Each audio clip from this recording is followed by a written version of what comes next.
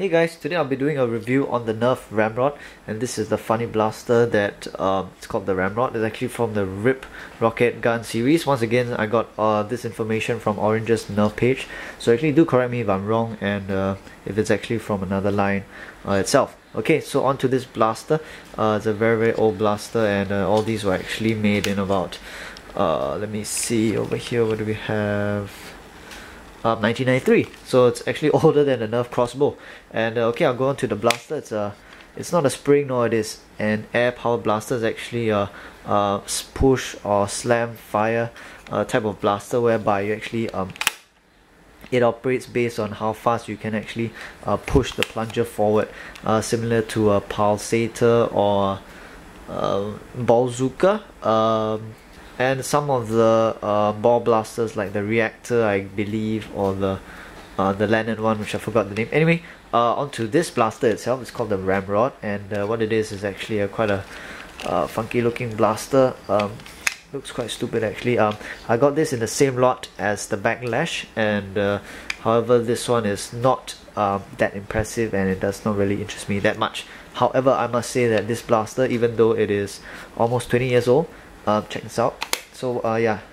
Actually this was how I use it. I'm not sure if it's the correct way. What I uh, do is this is in its collapse uh, original position. I do is uh, swivel this out to the bottom pull it like this um, hold on to it and slam it forward. So this is how I use it. It has three ammo holders at the bottom and here's the top barrel. Okay and uh, yeah this is an interesting thing I wanted to show you. Uh, the air release is at the vent. Oh not focusing Come on, focus. Focus, you piece. Ah! Okay, forget it. There's only a vent here that's air release, and I'll show you guys something really, really cool.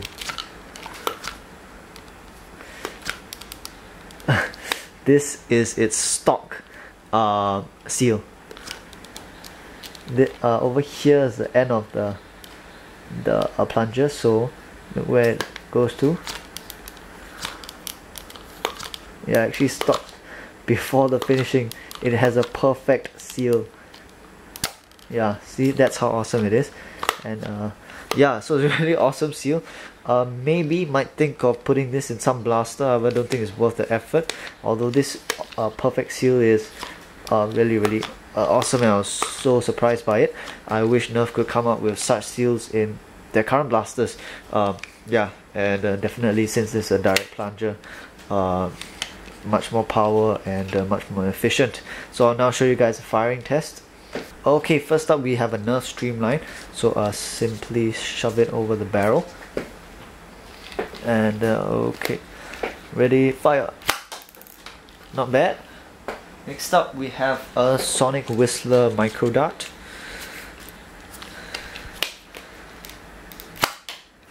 Okay, third is a Tiger Dart.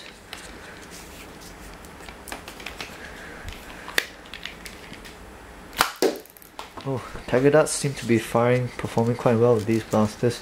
Uh, Tiger Darts also in my opinion are uh, one of the better ones together with the Sonic Whistler Dart since they fire really straight and uh, they don't uh, swerve in suddenly in um, every direction unlike Streamlines. Okay, and last we have the um, Suction Cup Micro Dart. Oh, not bad. Where is it? Is it over here? Yeah, somewhere there. Okay, so this was the Nerf uh, Ramrod 1993 uh, blaster. Um, older than a crossbow but uh, definitely uh, can't really compare. Okay so this is the Nerf Ramrod. Uh, guys I really have a lot of interesting things I really have a lot of interesting things to show you guys and uh, lately I've been very busy with work. So um, all I have, have been able to do is shop.